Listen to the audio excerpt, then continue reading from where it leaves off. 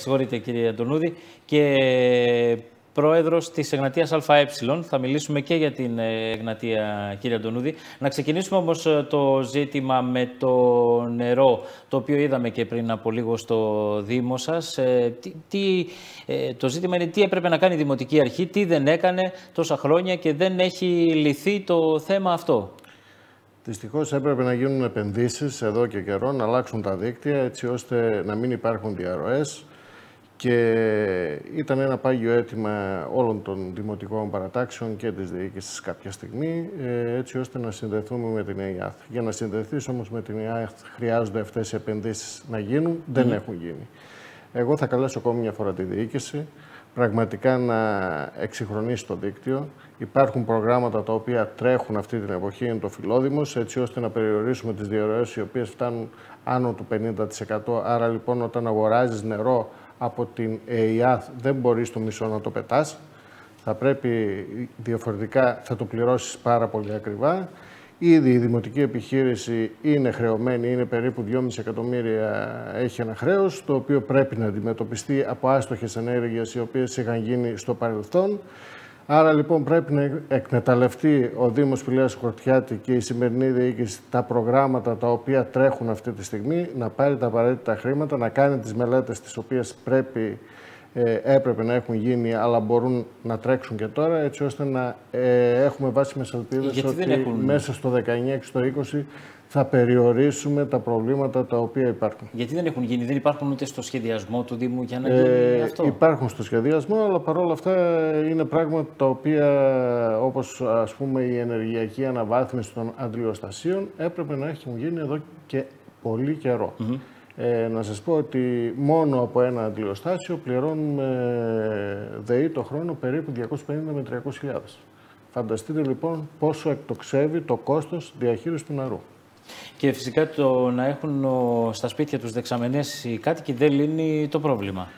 Ε, μπαίνουν σε ένα πρόσθετο έξοδο οι κάτοικοι και του Χορτιάτη και του Φιλίρου και της ε, Εξοχής και Σβεστοχωρίου. Δυστυχώς έχουν μια ε, κακή ποιότητα νερού, διότι όταν αποθηκεύεις το νερό με δεξαμενές ενός, δύο και τριών τόνων και όταν πολλές φορές έχουμε διακοπές που φτάνουν και τις τρεις και τις τέσσερις μέρες, καταλαβαίνετε ποια είναι η κατάσταση; Θέλω να δούμε τώρα ένα άλλο θέμα, το οποίο αφορά τα στενά πεζοδρόμια, τα οποία προκαλούν και αυτά πολύ σοβαρό πρόβλημα στη μετακίνηση των πεζών εκεί στην περιοχή, κυρίως στον κεντρικό δρόμο του Πανοράματος. Βρέθηκε η κάμερα του Άτλα Κεντρικής Μακεδονίας εκεί σήμερα. Πάμε να δούμε το ρεπορτάζ που έχει ετοιμάσει ο Βασίλης Παναγιοτήδη.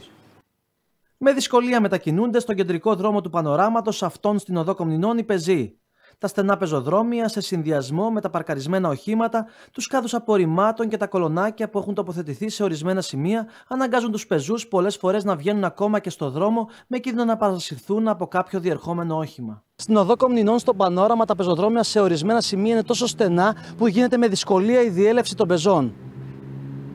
Όντως, όντως, όπως βλέπετε και εσείς παιδιά, ότι εδώ τα πεζοδρόμια είναι στενά.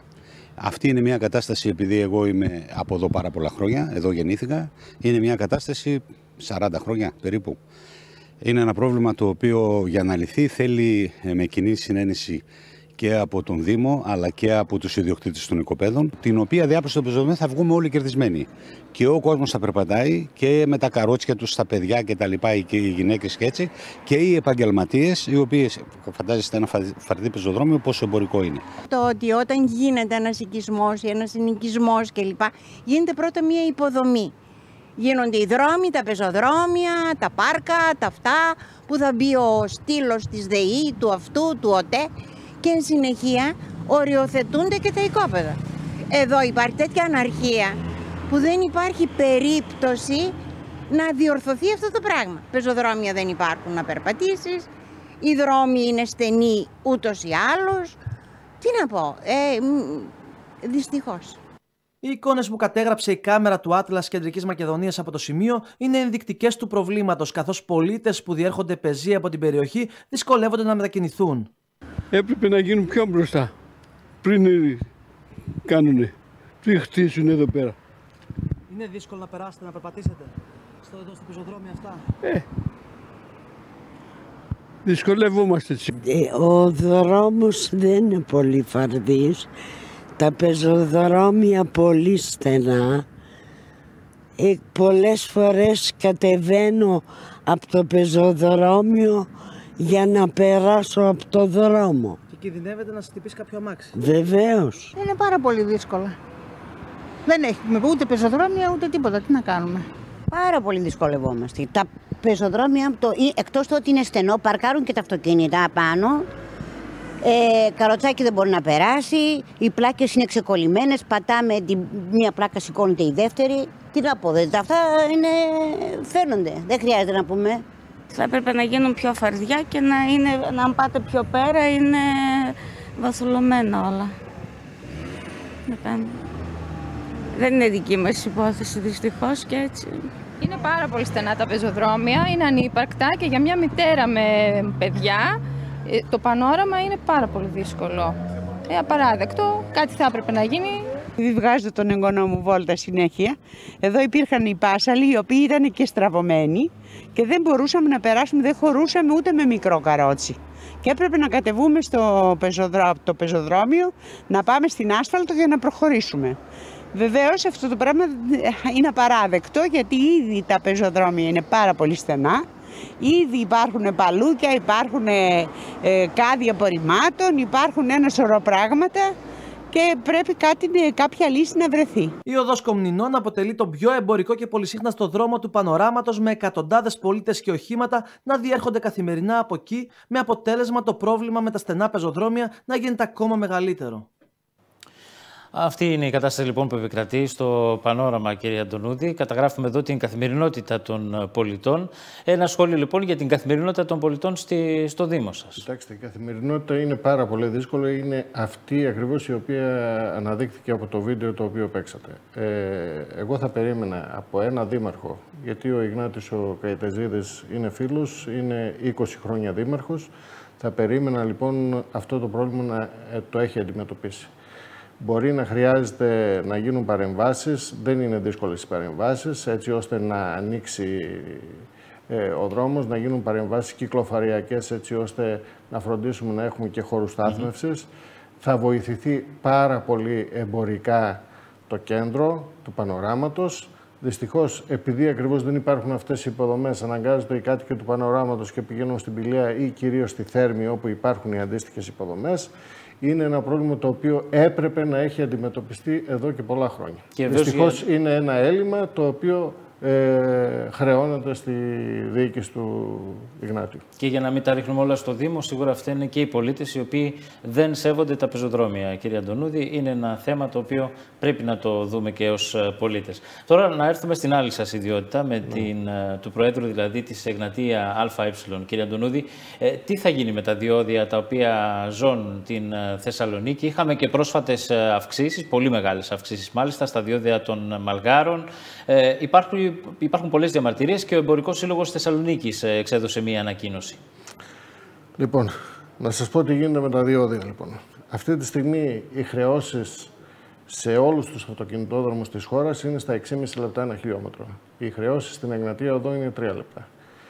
Βγήκε μια κοινή υπουργική απόφαση πριν από ένα μήνα, όπου ορίζει ότι αυτή η χρέωση ένα χιλιόμετρο από 1η Πρώτη του 19 θα πάει στα 5 λεπτά. Είναι από τα 3 στα 5 λεπτά είναι μια πολύ σημαντική αύξηση, mm-hmm. υπερβαίνει το 60%.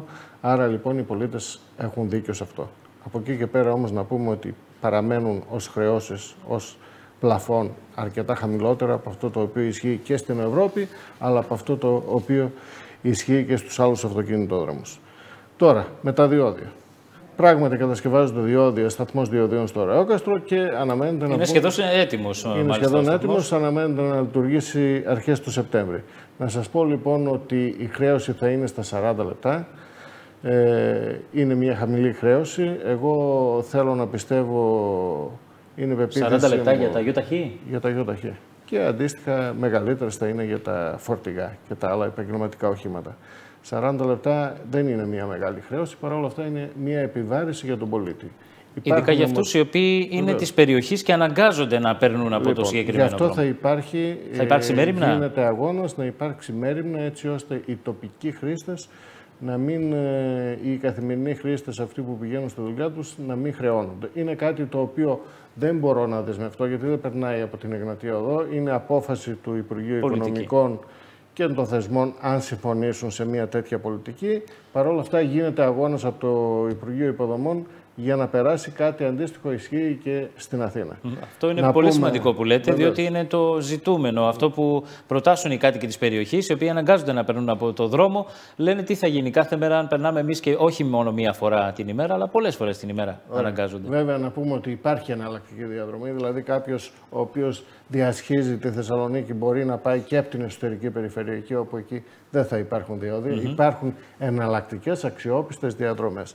Και επίσης να πούμε ότι σε όλη την Εγνατία Οδό, όποιος είναι άνεργος δεν πληρώνει πουθενά διόδια απλώς με την επίδειξη της κάρτας ανεργίας. Μάλιστα.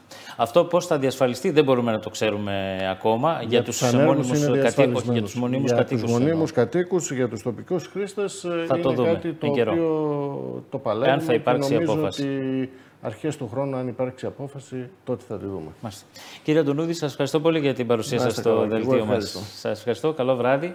Τώρα αλλάζουμε θέμα, κυρίες